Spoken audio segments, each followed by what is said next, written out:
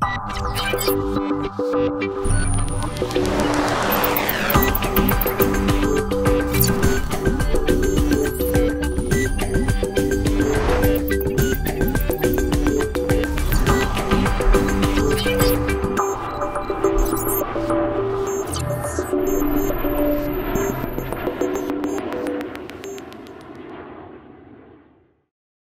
guys, it's the Big Tech Show and my name is Benjamin Dada.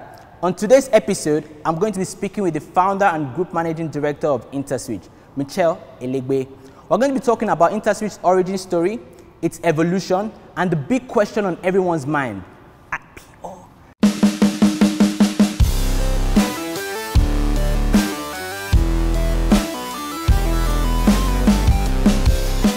Hi guys, the Big Tech Show and I'm super excited to have the founder and group managing director of InterSwitch here with me.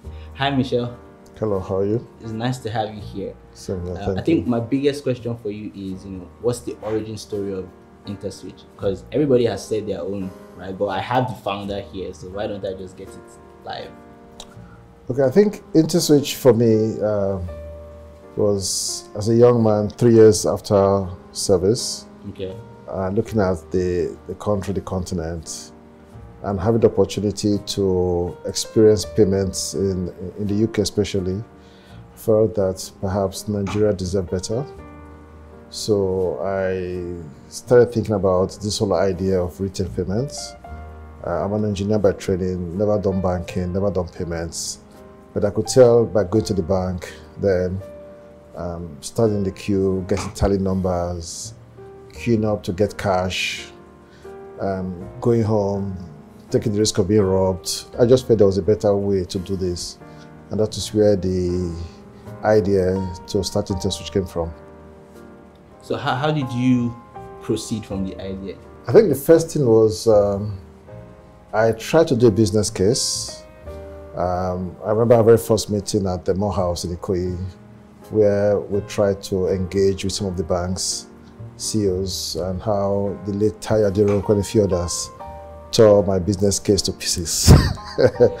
so I went back to the drawing board, and this time around I got Accenture to work with us to really develop this. Accenture at that time did a lot of work with the banks, so they knew what the banks were looking for. And um, the idea I had was just a perfect match, okay? So a few months down the line, having spoken to some bank CEOs, been invited to one or two management retreats, the idea for InterSwitch really started, okay? Funding was the big issue. Um, unlike today, where there are 1,001 venture capitalists looking at opportunities on the continent, then I, I didn't know of any. I didn't even know of anything called venture capital then. You probably were not even focused on Yeah, Africa. yeah. So what we did was, luckily for us, there was a scheme by the central bank called the Smith scheme, the Small Medium Enterprises scheme, where the central bank had said that um, banks should put, I think, a certain percentage of their profit aside Okay. to invest in startups. So we tapped into that fund. What did they call it that time? Was it startups? No, no, no, no. It was called the Smith for Small Medium Enterprises Investment something. Okay. Uh, so we tapped into it. Uh, we needed, based on the business plan, 450 million naira then, Yeah. but we got 200 million because the scheme limited uh, investment to 200 million. Okay. So that's how we started. And um, the plan was for the company to be profitable in four years, How long did it take? a year. Wow. So one year later, we are profitable. Yeah. And so having been profitable in our second year, we just had to sustain that growth. Okay. So the company has seen 18 years of profitable growth since then, yeah. I feel like clapping. Feel free.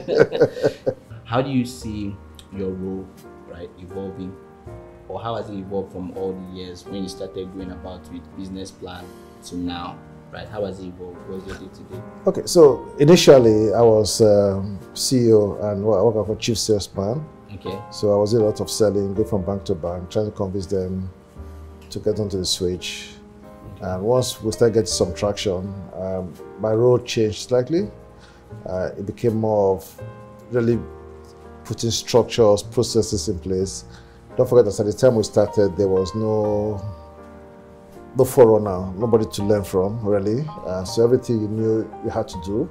Yeah. We made lots of mistakes as expected. Uh, we were quite young then. None of us had any serious work experience. So It was just a group of young people with a passion to change the environment we are in, believing that we deserve better, and that was just it. So today, many years down the line, um, my role has evolved. It keeps evolving. So I've had to move from being an entrepreneur, founder, to a manager of business, and so on and so forth. Okay. So those things that you tend to take for granted at the early stages, processes are now required. Okay, how you make decisions have to be a bit more organized and so on and so forth. So for me, the role I play now is having moved to the group. Uh, we have CEOs who run line businesses. We have about five of them. We're creating a sixth one now. Um, they run the business from day to day. So I focus more on strategy, more what, what I call where, where to play. What are those areas to focus on? and then they focus on how to win in those particular areas. Okay. So my role has really changed over the years. Nice. Thank you. Thank you very much. So InterSwitch is said to be Nigeria's most used payment card, accounting for 18 million out of the 25 million in circulation. Right. So my question is, how did the company grow to these heights? Okay, so I think a few things to correct. One, InterSwitch is not a payment card. InterSwitch deals with a lot of card businesses. Okay. Visa, MasterCard, American Express. So we're not the, we're not the card business ourselves. We have a card business called Verve, which is a domestic card scheme. Yeah. And I, I don't think your figures are correct. Those are quite uh, Outdated. outdated figures. I think the total number of cards in Nigeria today uh, issued by the banks should be in the region about 65 million. And Verve has about 49% market share of that, okay? Wow. Uh, so that is a more correct view of where we are today. Um, but how did we get to where we, we are now? When industry started, we just wanted to build infrastructure. The thinking was that once we build the infrastructure, people will use the infrastructure. It's like you're in a community where there are no roads. Mm-hmm. But you know, people need to move goods from one place to the other. So the thinking there was build the roads, people will move the goods. So we built the infrastructure, connecting all the banks. The goods were not being moved. And so we got into developing products. So one of the products we developed was Verve. And the reason for that was that we noticed at that point in time that if you look at the number of bank accounts and you compare the number of accounts that had cards, it didn't make a lot of sense, okay? Mm-hmm. And so we dug further, we realized that um, banks found it too expensive to give the traditional international card, MasterCard Visa, to their customers. Mm-hmm. So it was just for an elite population of bank customers. So we felt the way to solve that problem was to create what I call a cheap and cheerful card that met the needs of the market. Just to give you some perspectives. Mm-hmm. Mm-hmm. At that time, I don't know what it is now, less than 5% of Nigerians travel abroad. Right. So in the instance of it, it was, it was a domestic economy that needed to be taken care of. And so we felt that 95% was big enough for us to create a domestic card scheme for. So we went ahead and we created the, the Verve card scheme, which is charged in local currency, designed to work within the environment and so on and so forth, okay? But of course, having built infrastructure, we have a live and let live strategy whereby we allow competitors to use what we have built. So we are currently the, the processor for MasterCard. Actually, I think the biggest processor in the market. And uh, uh, if you've been following the news, Visa has also invested in InterSwitch. So I think to grow the ecosystem, there has to be this idea of collaboration in different forms. So that is why I was quick to point out the fact that InterSwitch is not a card scheme. InterSwitch operates the infrastructure, okay? And then Verve is just one of the card schemes that run on that infrastructure for Visa MasterCard domestically when they are used, also run the infrastructure. Yeah, and I think that that's a very important clarification to give. Um, also, in InterSwitch's business play, right, there's a combination of infrastructure and products, right? So you have a Visa who is investing in InterSwitch, but you also have your own card that you're pushing. So how have you even managed to grow both of them side by side? So do you feel like at some point you're going to maybe fast track infrastructure and slow down product, or you would move products first and you know maybe become quote unquote stingy with the infrastructure? Okay, so um, InterSwitch plays a very unique role, and that unique role creates some responsibility on us. So it's not just about, we don't take decisions purely on the commercial Aspect. value we get from it, okay? There's this idea of growth for the ecosystem. Everybody wins if the ecosystem grows bigger. Mm-hmm. So you're right, we build infrastructure. Sometimes we leave the infrastructure and we go into the products and solutions. But sometimes not my, my understanding is that not there's no one company that can build all the products that the market needs. You'll be very shocked when you look at the Nigerian environment. I look at when you begin to look at key customer segments, even among students population, you'll be very surprised at the differences you see. A product you build for a student in one university in the south may not work for the same student in the north. So you begin to see that it's not possible for one company to build all the products that is required. Okay. In the same vein, when you even ask two people to build the same product for the same customer, they go about it in two different ways. Yes. Okay. Yes. So looking at that, therefore, and recognizing that InterSwitch cannot be everywhere, we took a view that that's why we crafted this our live and let live strategy. Okay, we build a highway, everybody should use it. If InterSwitch, if Verve is going to use the InterSwitch highway, Verve will pay. Yes. Just the way MasterCard and Visa will pay. We don't discriminate in fees. Okay? Mm-hmm. Now, one of the decisions we take from time to time is when we start a product and competition starts that same product, we always have to have us ask ourselves the question: Do we want to push it fully, or is it time to retreat and let competition win in that space because there are other things to be done? So, if you have the bigger concept that the ultimate goal is we want to impact uh, where we where we where we operate from, and not one person can do it. Sometimes there's this tension between start something up, but you know you're not going to go out the full haul. But you start it. A lot of people, a lot of Nigerians who don't have jobs. Okay, Yes. young guys, smart. So once they see an opportunity, they will easily jump at it. Yes. So sometimes what we do, we just seed it, Spark the fire. we spark the fire, Yeah. the thing grows. Yes. So Paystack, Flutterwave, is some Yeah. part of sparking the fire Yeah. things are going oh very well there. A lot of guys are doing stuff in, uh, in in cryptocurrency, although there are issues around regulation now. Okay, but that is a spark also. At some point, maybe it may become very big. But for us, the infrastructure play will always be our our, our, our, bread and butter. Now, if there are gaps, we'll go in. So there was a clear gap. Nobody was bold enough to go in, so we went in. Yes. Yes. Okay? So if there are other gaps in the market and nobody is bold enough to go in, we'll go in. But the ultimate goal is to make our competitors or our partners, as we like to call them, feel comfortable working with us because that is how we win. That's that's interesting. That's interesting. How have you managed to first of all, you know, keep the people happy and attract the right talent? Um, some people stay here for more than two years. In my time, you don't find people staying in a company for that long, right? People stay for five years. How have you managed to attract the right talent and retain them?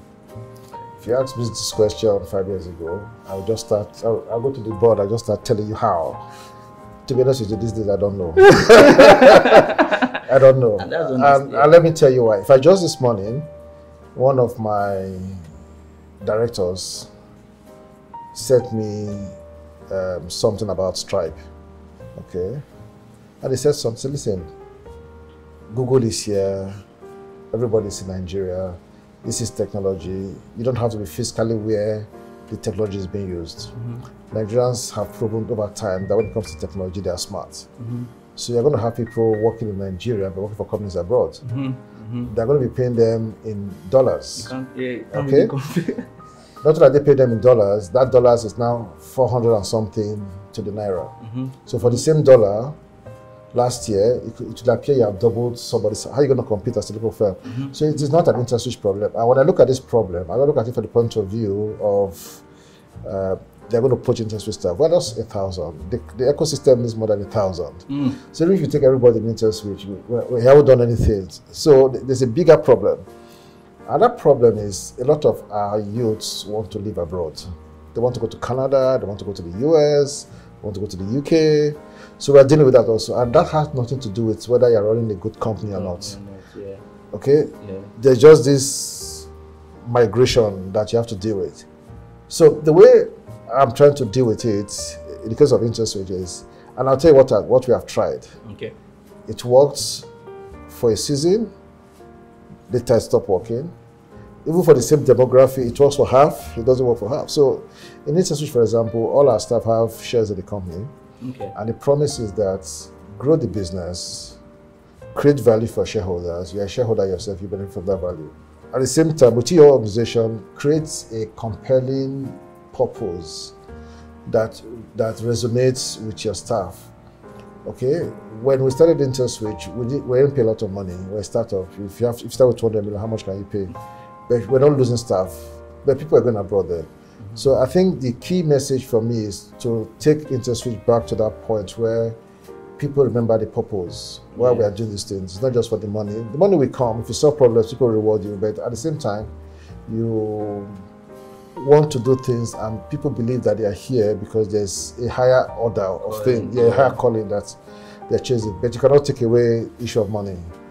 So even as I'm saying this to you, I, am actually thinking of how to pay good, good money. But I also recognize that paying good money does not solve the problem. Yes. Okay, the other things that you need to look at also. Thank you very much, Mitchell. I've been having fun and learning a lot. Um, in listening to your responses, I see you're very big on you know solving a problem that human beings are facing. Why why that? Okay, so um, lot of reasons. Uh, sometimes it's never quite clear where this comes from. So I do a fair amount of travel across Africa, and I see the the way people live, and what comes to my head all the time is, we deserve better. We deserve better. We deserve better. Okay. Better is not going to come if you don't do something about it. Okay. So we took payments as one area that we felt, let's find out the pains. And I'll give you one example. You see, what people don't realize is that to move forward, we had to go back. Okay? This whole innovation you're seeing, people had moved forward, but we had to go back. And the question was, everybody was talking about cashless Nigeria many years ago. Mm -hmm. I remember at the museum, one of these um, conferences, and I spoke about the fact that Nigerians don't need to need cash. They just, they just want cash just in time. Mm -hmm. And everybody thought I was talking rubbish. But see, when you look at the people on the streets, their biggest problem was not how to move cash. Mm -hmm. How many Nigerians can afford 20,000 naira daily in their pockets? So you can't be telling me how to move cash is their problem. Mm -hmm. I can conveniently put 20,000 in my pocket. I don't have 20,000. So that idea of eliminating cash was not the problem of the man on the streets. It was the problem of institutions that produce cash. But people thought they were solving the problem of the man on the streets, meanwhile they're solving the problem of, of institutions, the central bank, the banks. So I thought maybe if, let's for once focus on the people on the streets. Okay? And find out what the issue is.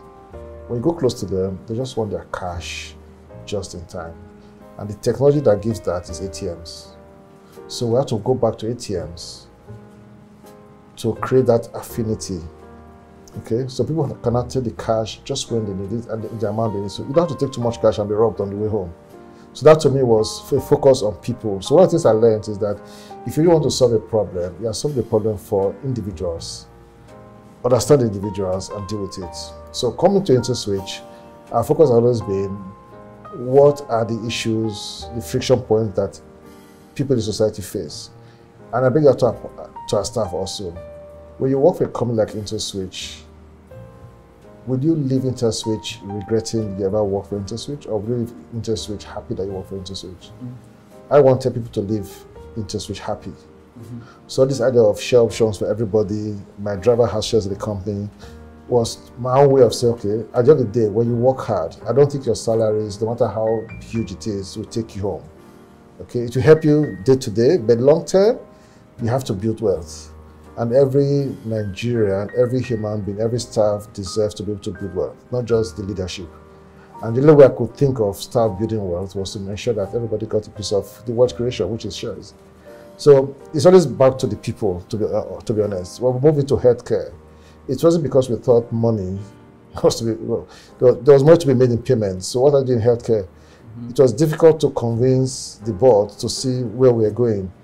And we've started. And during the whole COVID period, we saw what that move did for us. Okay, it, it was timely. Okay, today there are state governments where in rural areas nurses have access to computers and they can diagnose We don't have enough doctors. So if you want to solve problems, and you want to bring everybody to the cities, you have to take the solution to places whereby even if you're not a registered medical doctor, at least the system can help you take the right decision and do the initial. So it, it comes down to the people again. Yes. We do stuff in education. You want to move the country forward. Your citizens have to love science, mm-hmm. mathematics, okay? So we created InterSwitch Spark to encourage young Nigerians to get involved in science, mathematics, and so on and so forth. Again, because you need to have that, it, it doesn't have to be everybody, but there should be that crop of people who still believe in the power of technology. You don't wake up one day you realize that the generation of people like also went to school and studied engineering don't exist anymore. Everybody wants to be a musician, everybody wants to be a social influencer because that is what they see. But somehow, if you want to solve your problems, technology is something you cannot ignore. Finally, ask yourself if you want to be successful. I have a lot of you tell people, what do you want to be? I want to be rich. Okay, how? Nobody cares if you want to be rich. People care about the problem you solve. Yes.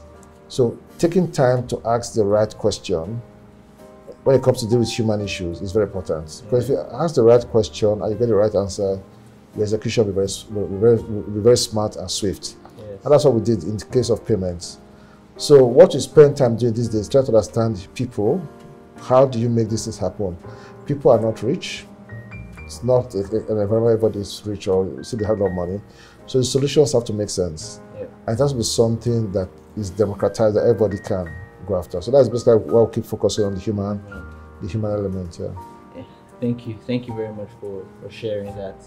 Um, I, I can't end this interview without asking, you know, the big question, right? Um, at least twice, you know, we've seen different news and rumors about InterSwitch IPO, right? Um, and I was just wondering if there's something you could share with me and the audience, right? Um, what is it? Are we having an InterSwitch IPO? Um, are we doing a dual listing or are we doing an NSE or NYSE? Um, anything you can share about the InterSwitch IPO? Okay. So, you know, you said there's this big question. I know nobody likes to answer big questions, so I'm sure I'm not expecting uh, a response from me on that. But uh, we've had a very good interaction today. So let me not bust your bubble. Let me tell you a few things. Thank okay. So, qu- first thing I'll tell you is, if it is true, Mm, InterSwitch has been saying we're going public, we're going public, we're going public, and we're not going public. Maybe it's time for people to stop worrying about whether we're going public or not. mm, Hmm? Like answer number one. mm. Stop worrying. I tried that. I'm so sorry. Stop worrying if we are going public or not. Uh, let me tell you things to worry about. One is InterSwitch making impact. Two is the ecosystem growing, and is it growing sustainably? Three, how are we dealing with the challenges of cybercrime that you cannot run away from when you go electronic? Okay, and four, are we living the kind of examples that will encourage people to want to come into this fintech space and also contribute and excel?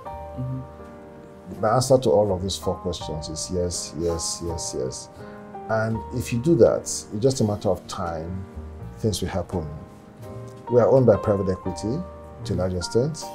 So it is true that at some point they will exit. What are the options typically open for people to exit? One of them is a bigger PFM comes to buy them out because they still believe in the growth story. We'll do a deal like the kind of deal we've done with Visa. Okay. We'll go IPO, uh, we'll do an IPO. So everything's on the table. But I'm, I don't live my life focusing on what is the next valuation. Yeah. Okay, that's not the way we started the company. We started the company on a lean budget and we've tried to grow sustainably. Th- th- that- There's lots of great opportunities. If I'm going to raise money today, I'm raising money for growth. Mm-hmm. Okay, now if IPO or whatever becomes the best way to do that, fine. Okay, so I think that's the way I would like to leave it. Sorry, I, I can't answer your question the way I- I think because because the truth is that there's no we are going to do an IPO tomorrow or next tomorrow. That decision has not been made yet. Thank you so much, Mitchell, for your time. I really enjoyed our conversation. So, you asked the big question about the IPO. Did you get your answer? This is the Big Tech Show. My name is Benjamin. See you.